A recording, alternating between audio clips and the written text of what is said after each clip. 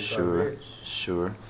Right. So we were we were coming. Let's just keep keep our trajectory here. We're coming from this notion of tzedakah chesed, right? And then we were trying to say at the end that chesed you can even give to the rich, right? So we wanted to understand what was rich first.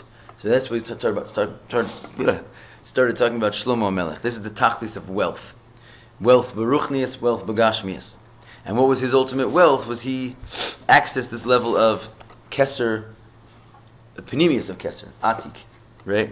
Which is a level which is more than what's shaykh to the world, right? Because if the if the arich is the fifth partsuf, and that's already maki, but it's still shaykh to the world, yeah, tell, stop me if I'm speaking Chinese, then uh, the partsuf above that, which is atik, it's already completely beyond shaykh to the world. That makes the world rich. It makes the world rich. It's not Hanukkah yet. And and so, we're, but we're saying that Chesed, you can even is shaykh to even give something to the rich. How do you give something to the rich? You don't just make them slightly richer, because that means they weren't fully rich in the first place. You have to give them a type of wealth which is be'ein aruch, something which is im- completely incomparable to where they were before. Like we said, like, like you know, the whole, all the money in the world kind of thing. So we said, okay. So that being said, um, there's also this that Shlomo was was rich or gave wealth to the world, it also affected the way he did birurim in the world, how he refined the world. Because he was at a state of atik, basically, he was called Shlomo because the world was in a state of manucha, shalom v'sheket haya b'yamav. There was there was peace in his days. What does it mean peace? So we said, as opposed to Moshe Rabbeinu and the Mishkan, where there was somehow a lack of peace. Why? Because we said there was two people that said Kuma Hashem, rise up Hashem. Moshe and David. Moshe said Kuma Hashem vayafutzu evecha vayanusu misanecha. He said, rise up Hashem and scatter your enemies. Did we do this together? Yeah. Okay. And uh, and what does it mean scatter your enemies? It means there's still an enemy there to be scattered. Whereas David said, Kuma Hashem limnucha secha. Rise up to your peace. And the notion here is that the bittul, I, I forget exactly where we got up to because I... Yeah, no, I'm afraid to like just start teaching the f- next class like b- Baal Peh. Yeah, but we went into Ches also, right? I don't remember though. Shoot. We went, Up we went to, uh, Uh, Beowulf. We talked about the Aron going in the desert. No. Yeah, we did. That that was uh, they, it was like fighting all. the Right, we did speak about that, right? I don't think we got to Hine Shlomo Haya Ish Menucha then. We didn't. no. We must have. I have. don't Yeah, think we- so, we but mentioned maybe we Shlomo did. No, we must have, we no, must have. We did. before. We go up to. Uh, Yeah, but that's the end of the test, no? We must have gotten there. Anyway, I think we were right in the middle of there somehow. All right, let's just we'll do it. You know, we'll do it inside. It doesn't hurt us. Um, he was a man. Okay, so we're saying like this: Shlomo was a man of peace because there was no war in his days, and also the way he, that he was able to refine the sparks was in a way of peace. What does it mean to refine the sparks in a way of peace? Anybody? He would stay in the palace and He stayed in the palace, and the sparks came to him. Like the- Right? Like the river. Exactly, like Mashiach, everyone flowed to him. Right. Right? Due to the fact that there was a base of Mikdash, due to the fact that there was such godliness, the godliness drew drew the sparks to the godliness. Okay?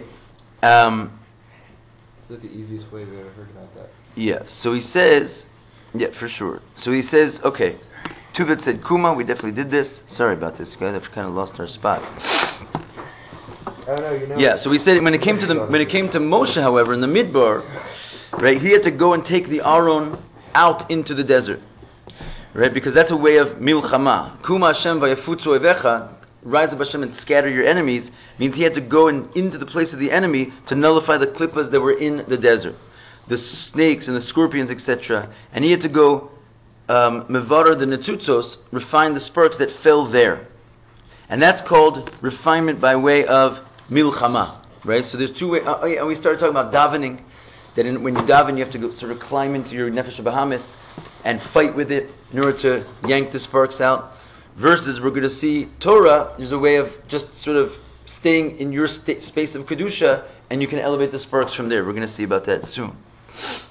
And he says, but what was Moshe compared to? Like a king that goes out to the. Uh, I think this, let's take it from here exactly. Right, the line is three lines up from the bottom of the page Nun, the bottom of uh, paragraph Ches, three lines up from the bottom. Kamo melech sheyotzim makomo, like a king that goes out of his place.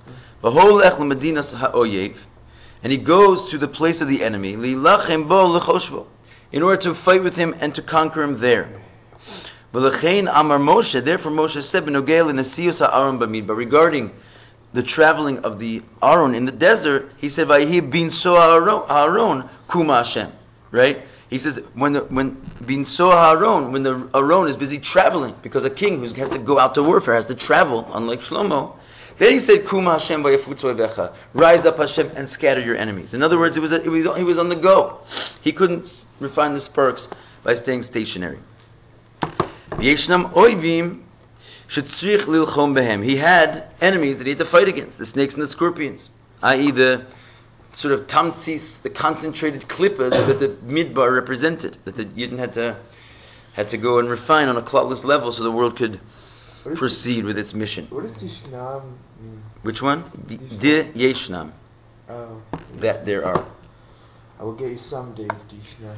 Va'birur al yedei giloi sheheir bebeis. However, the refinement process of the world that took place through the Beis Hamikdash, haya b'derech manucha. That was in a peaceful path. The Shlomo b'mkomo. V'anutzotzos nimshachu elav. And the, sparks, as we said, were drawn to him all by themselves. Therefore David said, rise up Hashem to your rest. And it was David was building, the, was, knew that the Beis Hamikdash was going to be built. He designed it. So he was already realizing that there was going to be a level of elukus that had the effect of bringing the sparks to him. Do, the, snakes and scorpions represented? Like what they're like metaphorically? I would say it's nechashim, srafim, vakravim is like the three gimel klippas atameist, right? Which what are those things? The, The three impure levels of klippa. There's klippas noga, and then there's the three. uh, okay. So they were sort of like the living embodiment. They were coming Of- out of Mitzrayim, so they would have, uh, you know, Israel would have had all sorts of. Uh, What's tran- it's like a transition, isn't it? Yeah, it was, the, it was the, just in general. We weird talked about stuff.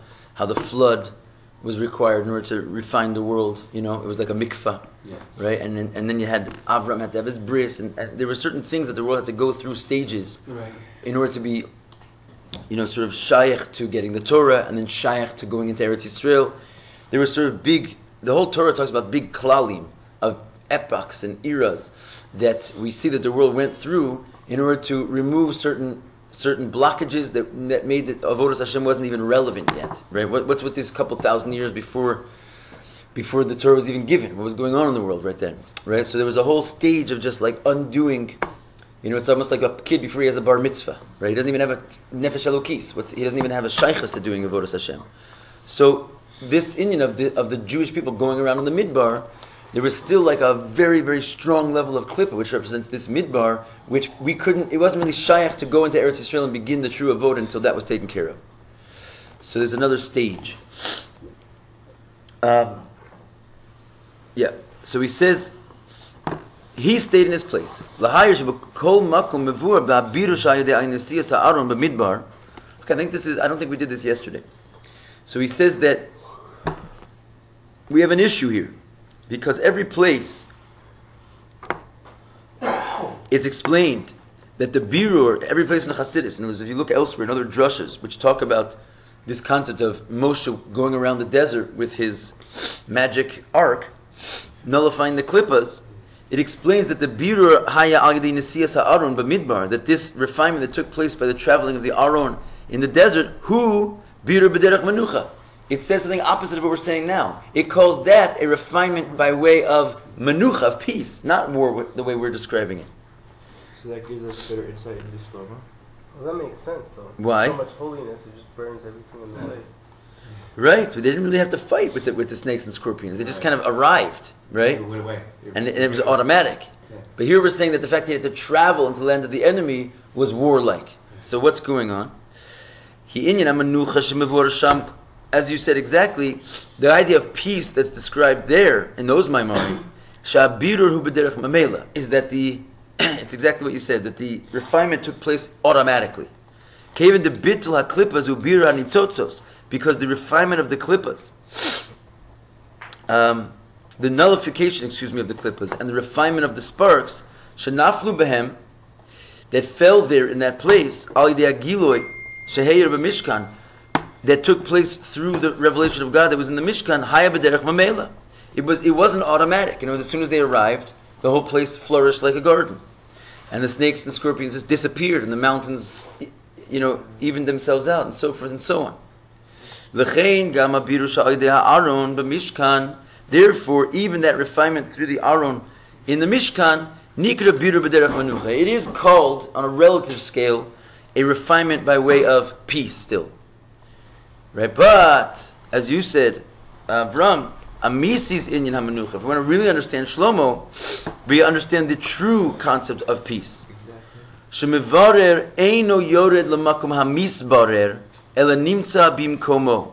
That the refiner does not descend into the place of the refinee, but rather he stays in his own place. That's ultimate peace. In other words, Moshe, he didn't have to fight with any klippas, but at least he had to go into the domain of the klippas at very least. Right? Whereas Shlomo, he didn't even leave his own realm of holiness, so that's the ultimate level of peace. It wasn't only automatically that the klippas got refined, like it was in Moshe, but on the contrary, the klippas came to him.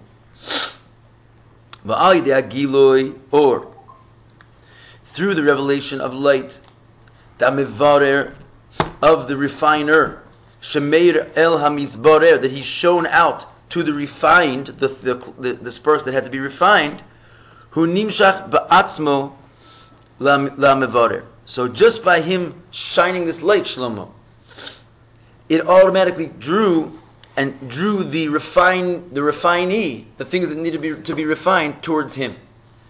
Right, so this is mamash a high level. You, it- it's, it's just something a person can contrive in and of themselves. If you get to such a light, such a level in your in your own avodas Hashem, that you're shining so much light, it literally draws your avoda to you. Anything that you have to refine, anything that you have to take care of in the world, it comes to you. And okay, obviously we're talking about the tzaddikim of the highest order here, but on some level, we're learning this because everything has to be shaykh to us in some way, right? So sometimes you have to you know it's harder to, to see your course in life like what what is what is your you know it's, the, it's basically the big question of everybody's life like what am i doing with myself you know what do i what am i here for? So you know the more you and, and, and so people say you know my, my line is you know come to yeshiva. So you say well Rabbi, that's the opposite. You know then i really don't know what i'm doing. I'm just sitting in a room uh, for hours and hours on, on end. So the idea behind it is if you go deeply deeply deeply into yourself and start to become a holy so you draw your your function of your life, your purpose of your life. It becomes clear to you. It, it can come to you much faster than if you start chasing around looking for it. You could be like on a wild goose chase for the rest of your life. Because who's to say that you're gonna pick up the the sparks that you need? You're gonna be. I mean, everything's by hashgacha pratis, certainly.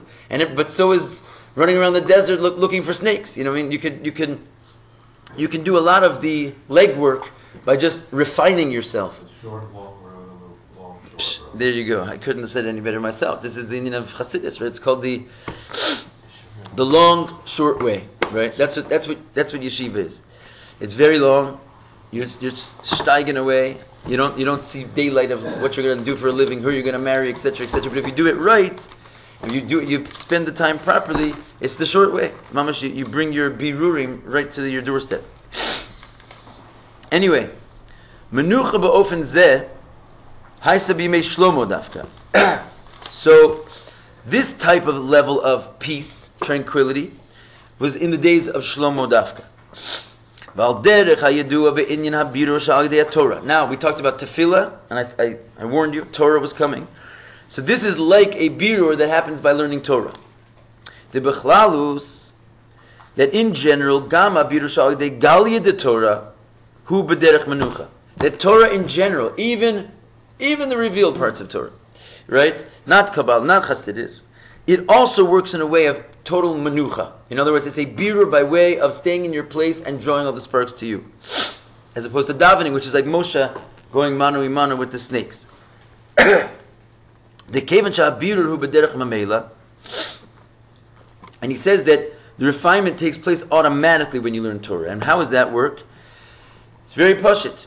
In other words, it sounds a little bit esoteric at first, but it's it's a very simple fact. Al yidei shalom dim b'Torah, shedavar zeh mutter v'davar zeh aser. You don't think about it so much, but there's one way of coming in contact with, you know, birurim, which is that you're sitting in front of mamish plate of milk, you know, a plate of meat and a glass of milk, and you have to like mamish, you're, you're about to eat it, and you're going to refine one or the other, you know, and that's like a derech milcham. That's why you know it says in Babel they used to put on their gartel before they ate.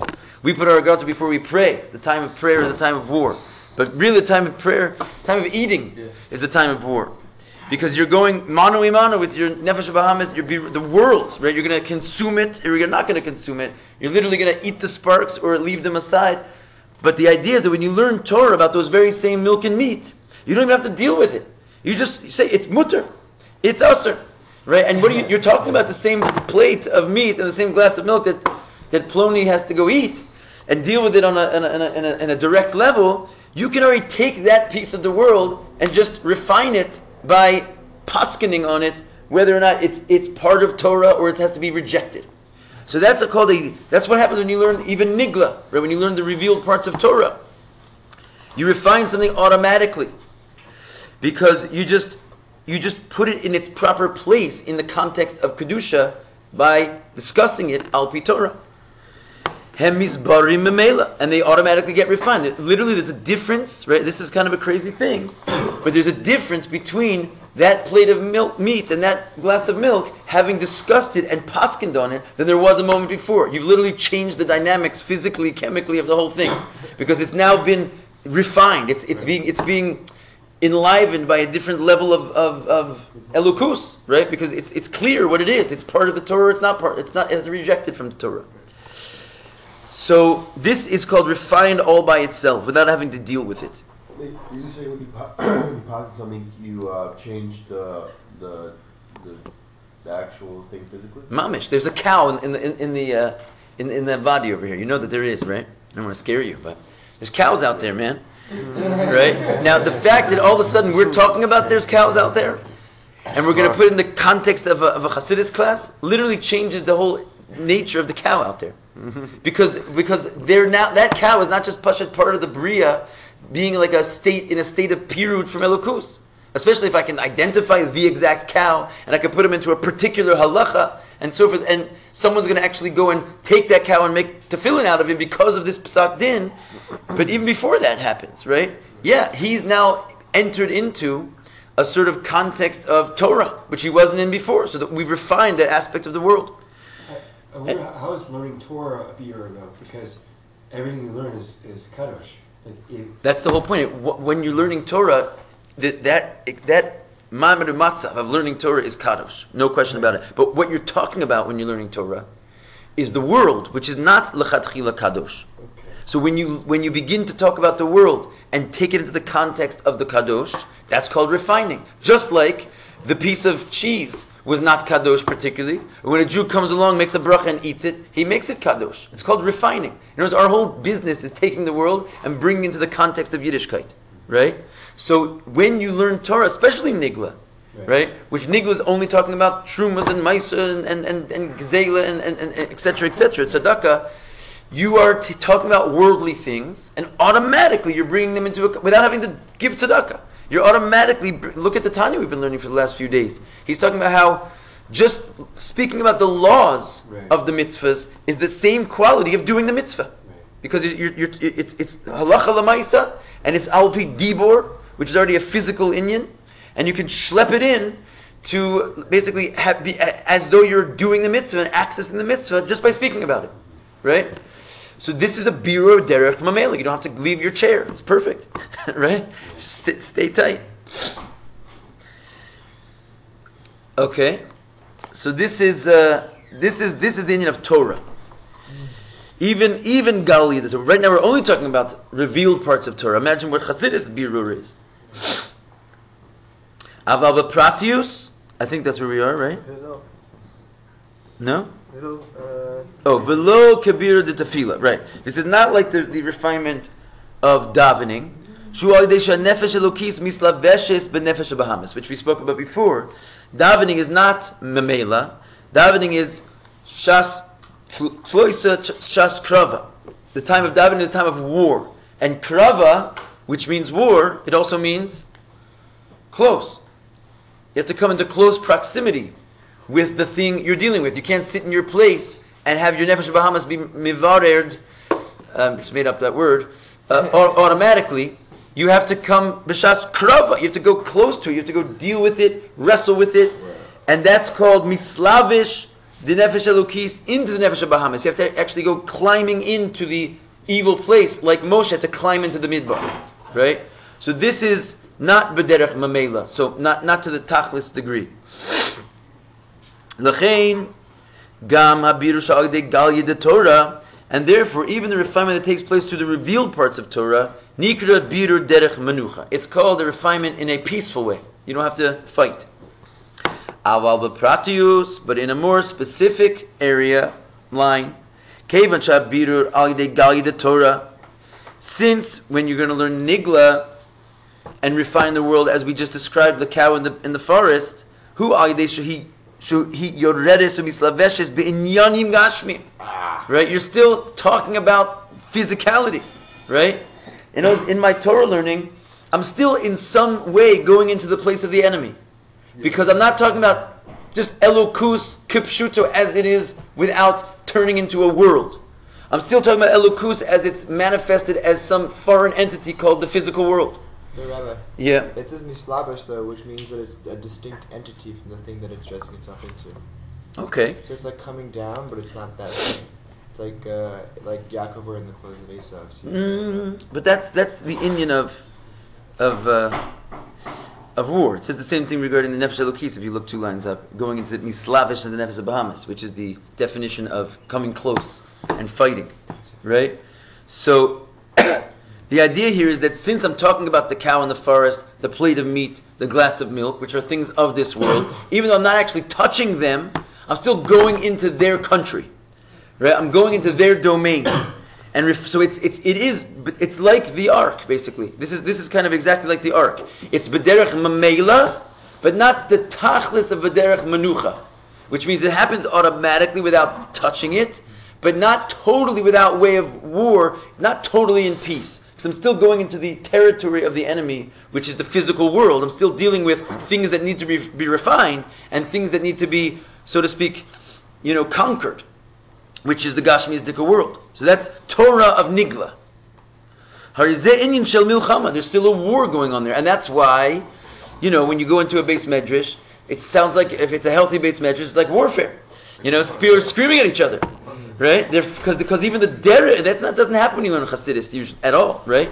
Because you're not you're not fighting with each other in the Torah of Hasidus. It's not written in such a way where you have to like try and you know stake your claim and, and, and hold your ground and, and prove your point. It's just not it's not really I mean a little bit, but not cle- not nearly at the same level where it's push a battle, because even the ofen of the birur, I'm sort of adding this in, but I've seen this in other places. Even maybe he says it even. Even the ofen of the birur is that you learn the Torah in a way of Talmud Bavli, which everything is not clearly stated for you there. It's, it's something that you have to you have to get confused in order to in order to get clear. It, it demands confusion. In other words, it's not just us, right? Anybody who learns Talmud Bavli, wind, you wind up in yourself in a situation where you're, you're confused, and that's it's written like that in order to take yourself out of that confusion and refine the spark of your intellect, right? Just like the godliness goes into a cow and sort of gets confused, like what am I doing in a world? Until a Jew comes over and refines it and brings it back into the holy family. So nigla is, is a way of war. It's a way of capturing booty, as it were. Al derech yitzias hamelech mimkomo, and this is just like the king going out of his place, v'alichasu l'makom ha'oyev, and going into the land of the enemy. Like we said, Moshe going into the midbar. And again, even though Moshe went into the midbar, he didn't really fight, you know, hand and fist with the scorpions, but he still had to go into their place. This nigla. Birur. Therefore, we finally arrive. What's the true level of refinement? Manucha. This is the Biru al Torah. This is by learning Chassidus. This is why we're stressing this so much. Remember, this is the source material to go into the ultimate uh, what we're trying to get for in Yonush Torah Chassidus. It's just this beautiful sikha with the, where the Rebbe says this is what Chassidus is, and I said you can't understand it until you learn this mimer. This mimer was said right before it in that Farbrengen, if you recall. So now he's trying to explain to us exactly what What is what are we doing when we learn Hasidus? Like, what's so great about it? Everybody, you know, Torah, Torah in general is great. Why are we, why are we uh, getting so excited? It's a combination of the two. What do you mean? It's prayer and sort of pure Torah or something. I'm not necessarily arguing with that statement, but where do you see prayer in the uh, in the It's equation? still a fight. Pneumius Torah? Yeah. He's trying to say that it's not. He's trying to say that Pneumius Torah is like the Shlomo Melech uh, scenario. Let me, let me let me put the pieces together. Fighting with the enemy, mamish, is called prayer. That's not even the level of Moshe, right? Prayer is davening or eating when you actually have to like come into contact with the actual world. Heaven forbid, right?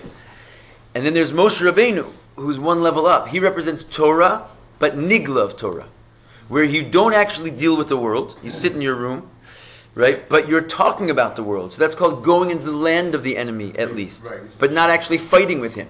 And that's represented by Moshe traveling around the desert in the land of the enemy, but not having to actually deal with them, just bringing the ark there.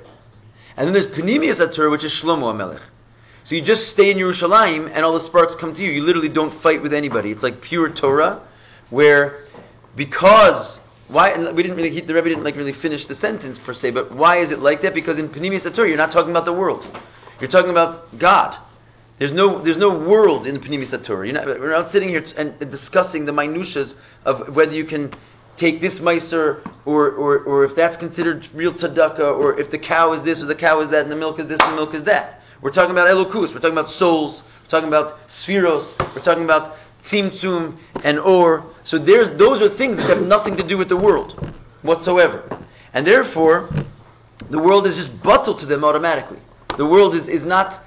That, we'll, get, we'll get to that further in a second. But the idea is that since you're not talking about the world, then the refinement takes place in a way where you're not entering into the land of the enemy. You're not even dealing with them. So therefore, all the sparks come to you, as we'll see why in, in this coming Gemara- paragraph. Gemara would be considered what? Gemara is Moshe in the desert.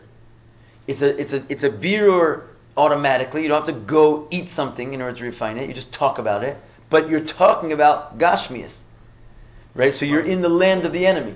Right, it's considered tefillah. It's like tefillah. No, to fe- I mean maybe maybe in some category. I'm not I'm not saying no like outright, but in this conversation I'm saying no outright because tefillah is the first step when you're actually eating something, right. You're not even you're not there's nothing automatic when it comes to tefillah, right? It's all hand to hand combat, and anything you're going to win, you're going to win because you literally stripped it from your nefesh bahamis. Whereas in Torah, you're not even dealing with your nefesh bahamis directly. You're just you're just learning. You're not fighting, but you're learning about things that you would theoretically fight about. You're learning about gashmis. Is it clear what I'm saying? Because I'm getting a few Yeah. indications that it's not totally clear. You following? Yeah. Okay. You with me on this one? Yeah. Okay. So it's davening, nigla, chasidis, which is basically eating. And, you know, it's like dealing with the world. Then you have Moshe and Shlomo. The two levels of Torah birur are Moshe, Galia the Torah, the revealed parts of Torah, which is not the true manucha, but it's also a little bit uh, derech mamela, and you have Shlomo, which is pure manucha. Okay, Tess. V'yesh lomar. We can now say, Shachiluk ben Kuma Hashem Sha'amar Moshe, L'Kuma Hashem Sha'amar David. Right. The difference between the rise, O Hashem, that Moshe said when he said, scatter your enemies, and the one that David said when he said, Limnuchasecha, to your rise to your peace, to your tranquility, Hu b'shnei inyanim. The difference between them is really in twofold. But ofen habirur, and this is going to be a little, this little bracket is a review of everything we just said. It's in the manner of the refinement, i.e., shabir al aron the mishkan, haya b'derech milchama, that the refinement of the kuma of Moshe, which is the refinement of the of the traveling of the Aron, was in a way of war. That's why it says Kuma Hashem v'yafutzu. What does it mean Kuma Hashem? And scatter your enemies v'yanusu misanecha and make your your hated ones flee. Where's the oivecha and the misanecha? It's because when you're at war, you have enemies and hated ones. So in Moshe's Kuma Hashem, he he articulates the enemy right out, outright. Sheyeshna menagdim, because there because in Moshe's model there are enemies. He's still doing, uh, he's still in war. Oivecha mesanecha, shetzrich lilchom and you have to fight with them. Okay, he fought with them in a way of memela, but he still had to fight with an enemy. Whereas in the birur should be made shlomo, in the refinement that took place in Shlomo Melech's days, will be frat gilui de Hamikdash, particularly when Shlomo manifested out of himself, as we said yesterday, the Beis Hamikdash. Haya manucha. It was there was no war to be fought whatsoever, and therefore the Kuma Hashem rise up and do some birur was lemenucha secha. It was rise up to your peace because he didn't mention enemies that have to flee and enemies that have to scatter. Kanal barucha. That's that's we already said, right? But he says that uh, he says also that's the ofen of the birur. In other words, we described the manner of the birur. One was in a manner of war, one was in a manner of peace. But he said it's twofold the difference between them. And the second one is gam birur atzmo, is that the actual refinement itself, not only the way they refine, but the process of the refinement takes place on a different scale. In other words, the work they were doing was not the same work. Not just the way they were doing it was different, but what they were accomplishing was completely different. And that's what we're going to say now. Hashem. This that the rise, O Hashem, Sha'amar Moshe. That Moshe said, it says Vayafutsu and Vayanusu. Right? Before we, we were, if you see the italic, italicized words four lines up, he italicizes Oivecha and Misanecha. He italic- italicizes the enemy, the words for enemy. Because he's trying to say that it was a warfare that was going on. There's an enemy there. But suddenly now he's italicizing the words vayafutsu and vayanusu. What's he getting at? Is that there's a situation where there's a fleeing and an escaping going on with his enemy. And hu lefi shegam achri abir. It's because even after Moshe does his job, goes to the desert and takes care of business, al yedei nesiyas ha'aron b'midbar, by traveling with the Aron in the desert, nishar adayin menagdim. Guess what? The bad guy doesn't really go away. Oivecha misanecha, do not leave the building. Ela shayu ba'ofen divi yafutsu v'yanusu. Just what? They've, they've gone and hidden under rocks. They're in a manner of having fled. They're in a manner of having run away. But he doesn't destroy them. Still there. They're still there. So Moshe's birur, not only is it different in its manner, that it's a way of war, but in its effect, it's also completely different. He does not eliminate the enemy. That doesn't get transformed. No transformation. Exactly. Right? No elimination. It's just really three levels. There's there's uh, elimination, and there's I don't even remember what I was talking about. there's transformation, right? But there's also not oh, and there's not even elimination, right? They just stay there. So there's there's just there's fleeing. Right now I got myself together. There's fleeing, but the thing stays in place. It's just hiding under a rock. There's elimination, and then higher yet, there's transformation. So Moshe's on stage one. He just scares the enemy out of their pants and makes room for the king to come through. But they're just waiting to come out again. They're hiding under the rocks. Still right there. Is there any sparks from them that get extracted? Or? That's a great question. Um,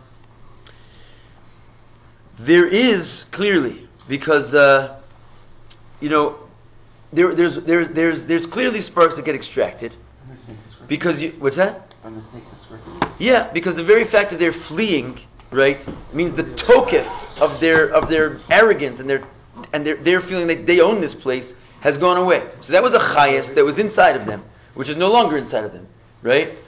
Now you didn't take away their mitzias, so you could call this, let's say, bittul hayesh, not bittul mitzias, right? Like their yeshus has been subdued, but not their very selves. Right, so when you have bittul hayesh, you certainly are yanking kochos from your nefesh Behamis and making his power your power. That's called a refinement process. That's definitely elevating sparks, but not at the highest level. Right? There's still sparks, in other words, left unrefined.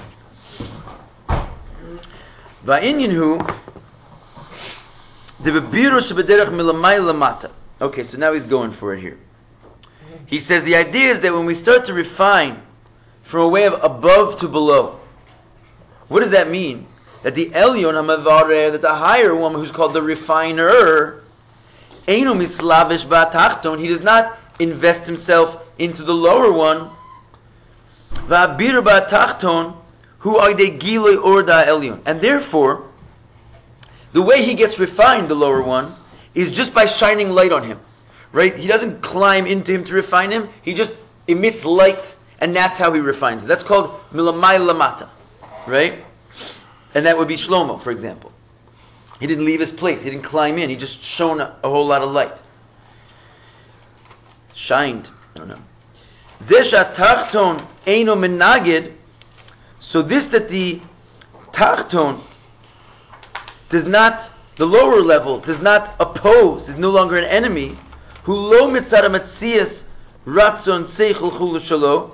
So it's it, the fact that suddenly when you shine light on him from above to below, like a Shlomo model, the fact that he's no longer an enemy, right? It's not because of his own mitzias, the, the tachton. It's not because the enemy, with his will, with his seichel, right? He's determined that he's not going to be an enemy anymore. But on the contrary, or it's because you shine so much light on him, which is completely incomparable to him, whom he's battle. He simply gets nullified.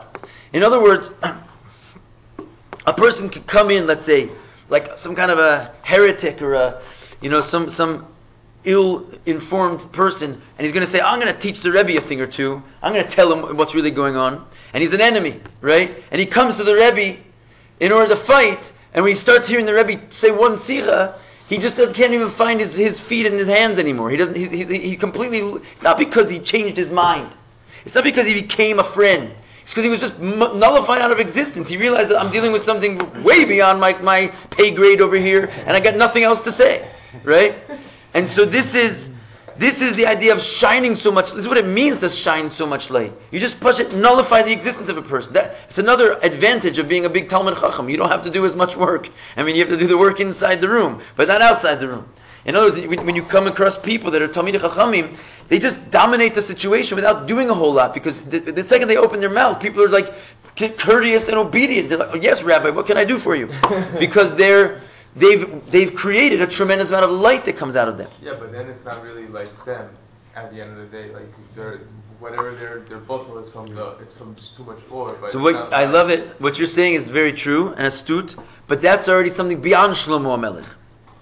You're, you're, you're, you're mamash chassid, seeing the, the flaw in Shlomo Melech. Right? But it's true, you're 100% right, but we'll get to that. But meanwhile, it's pretty great that without even fighting with anybody, you just open your mouth and shed light, all your enemies are no longer in the picture. They just disappear. They come to you and they bring you gold and silver from Sheba. והנה כשהבירור הוא באופן שהעליון המברר בא למקומו, when the refinement comes the opposite way. When the Elyon, the higher one, has to come into the place of the Tachton. In other words, you have to enter into discussion with this young man, right? In other words, it's not the Rebbe that he comes to see. It's it's Rabbi Pasternak. So all of a sudden, I can't just start saying a sikha and he's going to say, "Oh, I forget it. I don't have any questions anymore." We're going to have to start talking about it, right, and arguing. So you have to go into his seichel, and you go into his intellect, and you start to fight with him. Right, so you have to go into the place of the misbarer. You have to go into the place of the ref, one that needs to be refined. What is this really showing?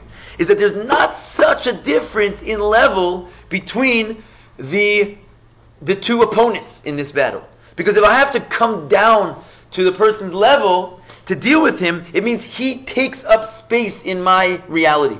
In other words, his position is something I have to consider. I'm not so beyond his position that I just sort of like ignite myself and his position disappears because it's completely irrelevant to the reality. I understand his perspective. And I'm like, somewhat, I have that false perspective inside of me. That's why I have to go deal with it and refine it mano y mano with him. Which means that his perspective, his it takes up place in my mind. It, it has a certain chashivas and importance of reality to it, which I have to deal with. Yeah. This seems more like the Mishkan now, going into the. the yeah, that's what we're talking about. This is now a, a, a birur from. This is the, this is a birur of milchama. We're saying. That's what we're saying. This is the difference of the two. Shlomo stands in his place and nullifies the enemy entirely, just by shining so much light. Moshe doesn't stand in his place and nullify the enemy entirely. He has to go into the land of the evil desert, which shows you that he's not so distant from their level. Right? He actually has to, in some way, recognize the significance of what they're doing and what they're saying to the point that he has to actually go travel to where they are. He refines them and he nullifies them and makes them run away and scared. He wins the argument. But the fact is, he doesn't undo their very existence because their very existence is actually chashiv to him. He gets their existence. He's recognizing the significance of their position. So how can you busy nullify their position while you while you yourself recognize that it has place? That's that's kind of the point of this matter. This way you have a little more mercy to go down and No. them? It's not. That's not the case here. In other words, maybe there, you could make such a case. That's kind of where Yosef was going, something even higher than Shlomo theoretically. But in this capacity, you you you you're forced if you want to get rid of it, if you want to refine it, you're forced to go deal with it because you are. Other words, it's not just be- simply because of mercy that you're you're you're, you're gonna sort of give them room. In other words, the Rebbe maybe will enter into conversation with the guy just because he wants him to feel like he loves him. You know, he's not gonna just nullify his existence. But that's not what's going on here. Moses is trying to fight the enemy. He's not trying to do him a favor. The- and the problem is he can't fight them by just shining so much light that they disappear because in his mind they're a serious concern for him, right? Because they, they take up place. It's really the incomplete side and the complete side. Check this to the. Uh, To the Ra inside in some capacity. and someone and what is it? You know what's going on. It's Yeah. just in the- That's exactly what we're dealing with. yeah. But Um, then, but then you're really changing the, the person But you're you are changing him. How are you changing him? By You're making him run away. No, let's just get. Uh, let me. It was, sorry, it was a rhetorical question. You're changing him because he runs under the rock. But you did not, as as as Reb Mordech, uh, of Ephraim said, you did not transform him. You didn't really change him in this model. Just by dealing with him, you didn't really change. What you did was you convinced him to come to yeshiva. Yeah, you won the argument. But his snakes and scorpions did not go away right? He just they just they're just under a rock. He'll put them on hold. He'll have what we call, uh, you know, he'll, he'll I forget what's the word. He'll uh, he'll he'll suspend his disbelief. That's what it is. He'll suspend his disbelief. He didn't. Dis, he, he he still believes in the wrong things, but he's suspending it. Right? He's made them run under the rocks and scorpions. Ultimately, that's a good start. If the snakes and scorpions are not fighting him and biting him, he can have a little bit of a breathing room and start to check out kedusha. But but the idea is that you didn't destroy the enemy. So this is not the type of hislavshus that Yosef that you're now for the second time aiming for. That you must transform the guy. That's not what's going on when you learn nigla. That's not going on when you when you uh, when you transform by way of milchama in this capacity. Does Shlomo, actually transform, or does it? Shlomo also didn't transform. Shlomo temporary, n- like- nullified. No, he, he nullified them. He made it so that they don't exist. Remember, we said there's three levels. There's there's make there's making them run away, but you don't you don't you don't make them uh, disappear. There's there's eliminating them, and that's what he did. He eliminated them. He brought so much light that he was he was in such a place that their perspective was was non-existent. That's the point. Their perspective was non-existent because in his mind it didn't exist. He, he, he couldn't even see them. It's like what we're dealing with here. Remember, what does Shlomo represent? He's going to put all the pieces together for us, but I'm schlepping us out. He represents Atik. Atik is a level of godliness that does not recognize the world. So when Shlomo is bringing Atik to, Atik to the table, which he was, the world has automatically disappeared because there's a level of divinity now in the world where the world doesn't even exist before it. So he eliminated the problem. Moshe brought what? Let's say he gave tzedakah to the world. So he brought, let's say, arich to the world. He brought levels of divinity which were still shaykh to the world. If you're dealing with levels of divinity which recognize, and not only recognize, but are in the process of producing a world, it can't simultaneously undo the world. If this level of godliness is what is required to keep the world in existence, then it cannot sim- then when you bring it, you cannot simultaneously undo the world from its existence. That's what I've been trying to say. Brought the tzedakah, Yeah. So Moshe bent his knees. Right. And then Shlomo was giving to the rich.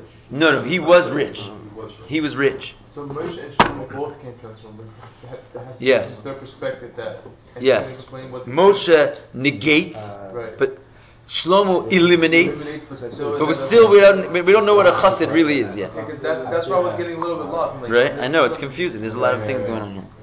There's a higher level than that, right? Right? I've been, yeah, I've been sort of hinting that the whole time. What, what is what's What's uh, Shlomo like category? Like, is Atik.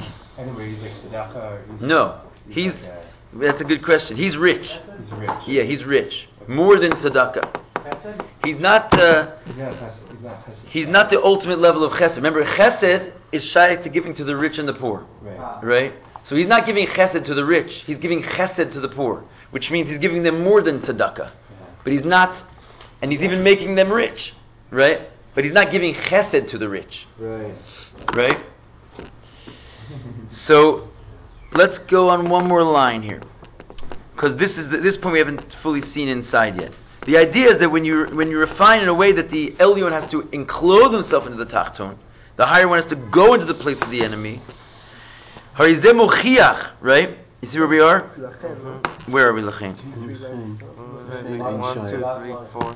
Okay, let's just uh, w- go up one line. Harizeh mochiach shatachton. This proves that the lower one is tofes makum lagabe. He holds some kind of a place in his in his perspective.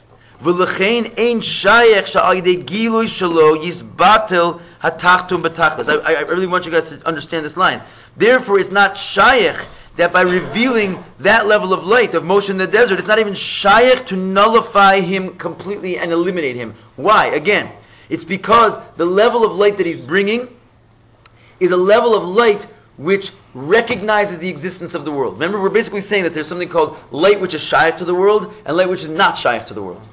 Light which is shy to the world means a godly light which is responsible for making the world. So, as much light as I will bring of that breed, I will never be able to undo the existence of the world with it because it itself is busy making and recognizing the, the parameters and the confines of the world. So, as much as I'll bring it in there, it can make a world a great place, but it can never undo the parameters of the world. Hmm. It can make the snakes and scorpions hide and sort of go into a state where they're, they're taking their proper place as the servants of Kedusha, but it can't undo the klippas altogether because part of the world is klippas.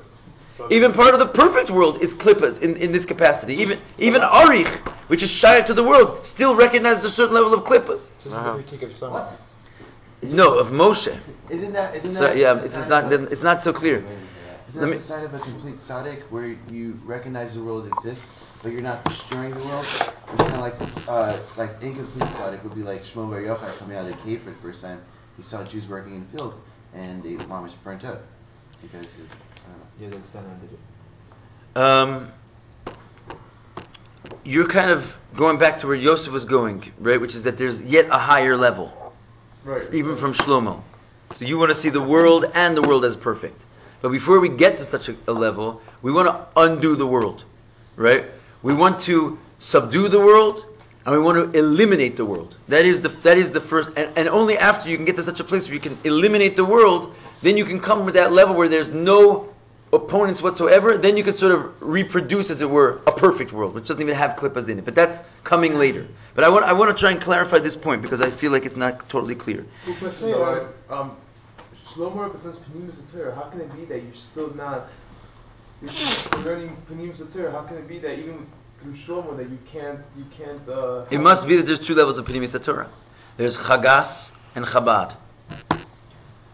Where there's Kabbalah and there's Chassidus. In other words, even there, it's called Nishmasa Deraisa and Nishmasa de Nishmasa Deraisa. Right? There's the soul of the Torah and the soul of the soul of the Torah. Shlomo got pretty high, but there's higher yet.